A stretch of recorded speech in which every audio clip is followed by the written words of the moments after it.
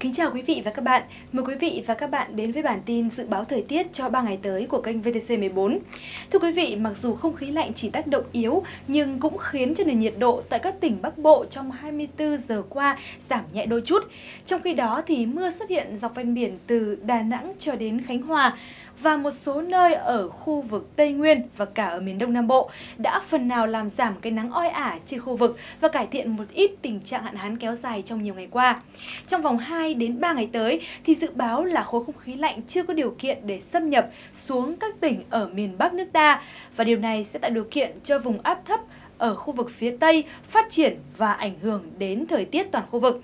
Như vậy, nền nhiệt độ tại Bắc Bộ sẽ tiếp tục tăng thêm và cao nhất trong ngày có khả năng lên đến ngưỡng từ 29 đến 31 độ. Đặc biệt là ở khu vực Tây Bắc, nơi ở gần với vùng thấp nóng thì nhiều nơi nhiệt độ có thể lên tới ngưỡng từ 33 đến 35 độ mức chênh lệch nhiệt độ trong ngày khá cao nên ngoài ra thì nắng mới lên sẽ gây nhiều cảm giác khó chịu nên người dân nên có các biện pháp nhằm bảo vệ tốt cho sức khỏe của mình.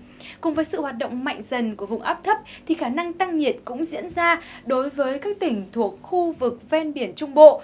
Trong 3 ngày tới thì khu vực này phổ biến là ít mưa, ngày nắng cùng nhiệt độ trưa chiều sẽ lên đến ngưỡng từ 32 đến 34 độ. Đến với khu vực Tây Nguyên và khu vực Nam Bộ thì vẫn chưa có dấu hiệu cải thiện tình trạng khô hạn trên khu vực khi trong những ngày tới toàn khu vực hầu như là ít mưa, ngày nắng giáo cùng độ ẩm thấp còn duy trì. Do vậy, người dân trong khu vực nên sử dụng tiết kiệm nguồn nước sinh hoạt và có các biện pháp tưới tiêu hợp lý cho cây trồng. Ngoài ra, chúng tôi cũng xin đặc biệt lưu ý với người dân ở các tỉnh thành phía Bắc, đặc biệt là ở khu vực phía Đông Bắc Bộ, bởi hiện nay đang trong thời kỳ giao tranh của hệ thống các khối khí nên khả năng bất ổn định trong không khí cao. Vì vậy vào lúc chiều tối và đêm thì ở khu vực phía đông của Bắc Bộ cần đề phòng những cơn mưa rông bất chợt, đặc biệt là trong ngày 18 và ngày 19.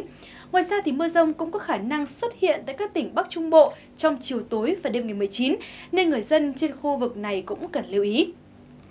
Sau đây là phần dự báo cho từng khu vực trong 3 ngày tới. Ở khu vực phía Tây Bắc Bộ thì trong ngày 17, thời tiết trên khu vực phổ biến là ít mưa, ngày nắng, nhiệt độ cao nhất trong ngày có xu hướng tăng và dao động chủ yếu ở mức từ 30 đến 32 độ. Lai Châu, Điện Biên thì vượt lên ngưỡng là 33 đến 35 độ. Sang đến ngày 18 và ngày 19 thì trời chuyển mây thay đổi, ngày nắng, chiều tối và đêm có mưa rào và rông vài nơi, gió nhẹ.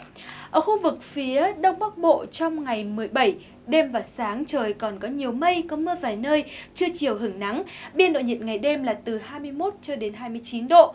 Còn sang tới ngày 18 và ngày 19 thì thời tiết trên khu vực cũng chuyển trạng thái là mây thay đổi đến nhiều mây, có mưa rải rác và có nơi có rông. Tuy nhiên là nền nhiệt độ thì vẫn giữ ở mức khá cao.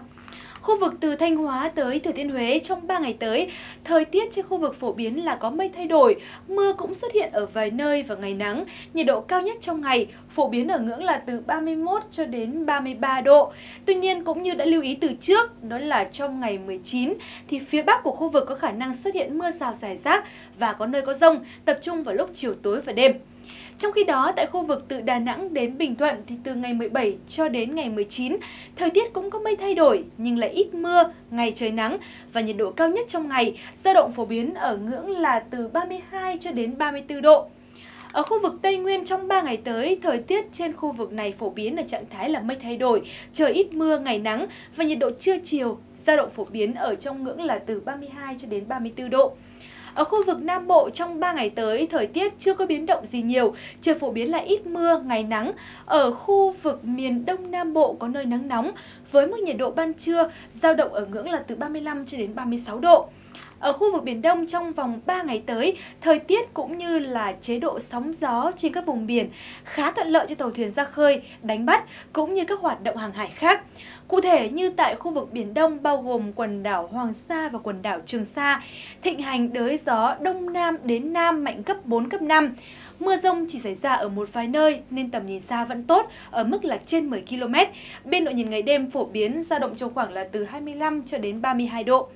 Thưa quý vị, như vậy trong 3 ngày tới thì nhiệt độ tại Bắc Bộ lại có xu hướng tăng thêm. Chỉ lưu ý trong 2 ngày, ngày 18 và ngày 19 thì ở khu vực phía Đông Bắc Bộ có mưa rông rải rác, tập trung vào lúc chiều tối và đêm. Ở ven biển Trung Bộ có mưa vài nơi nên nhiệt độ cũng tăng. Riêng Bắc Trung Bộ cần lưu ý là mưa có khả năng xảy ra trong chiều tối và đêm ngày 19.